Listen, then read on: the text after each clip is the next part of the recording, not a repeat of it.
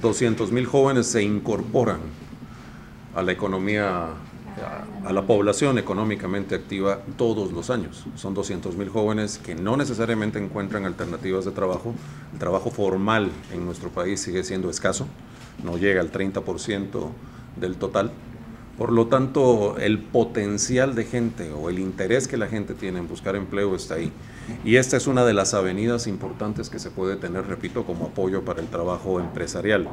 Eh, desde este punto de vista también es, también es importante recordar una ley que tenemos en el pendiente en el Congreso, que es la ley que, que regula el tiempo parcial, algo que está aprobado en prácticamente todos los países del mundo, pero que desafortunadamente en Guatemala todavía eh, no está en vigor y que permitiría además a muchísima gente, estudiantes, amas de casa, agricultores, compaginar dos actividades diferentes.